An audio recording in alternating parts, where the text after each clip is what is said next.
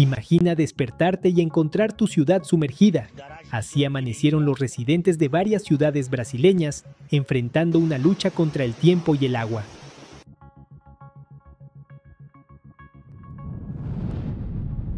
Brasil se enfrenta a una situación crítica con inundaciones y deslizamientos de tierra devastadores a causa de intensas lluvias. Este evento catastrófico ocurrió el 28 de enero de 2024, afectando principalmente a Jaraguá do Sul en Santa Catarina y a la región serrana de Río de Janeiro, incluyendo ciudades como Petrópolis y Nova Friburgo. Las intensas lluvias del verano provocaron rápidas inundaciones y la submersión de vehículos en Jaraguá do Sul, Asimismo, se reportaron avalanchas de agua y lodo que ocasionaron la destrucción de propiedades. En la región serrana de Río de Janeiro se registraron deslizamientos de tierra con consecuencias fatales. Las tragedias fueron consecuencia de las fuertes lluvias veraniegas que, exacerbadas por la geografía local y una combinación de altas temperaturas y humedad, resultaron en estos desastres naturales.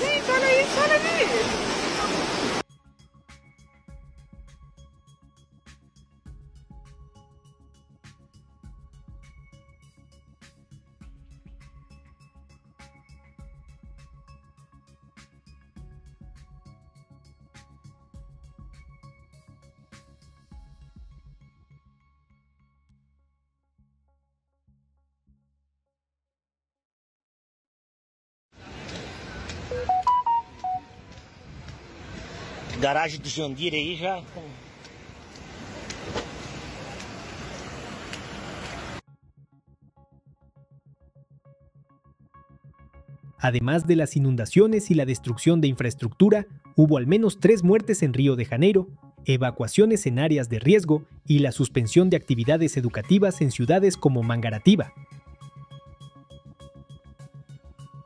calles enterradas bajo el agua, vehículos abandonados, casas y edificaciones arrasadas y lamentablemente vidas perdidas y comunidades entristecidas.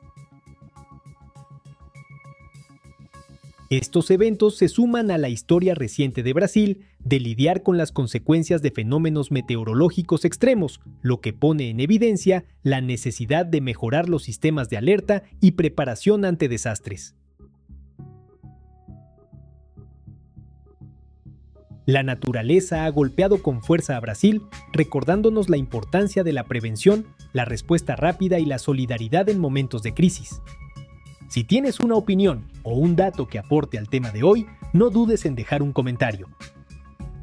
Mi nombre es Eje, nos vemos más adelante con más información. Chao, chao.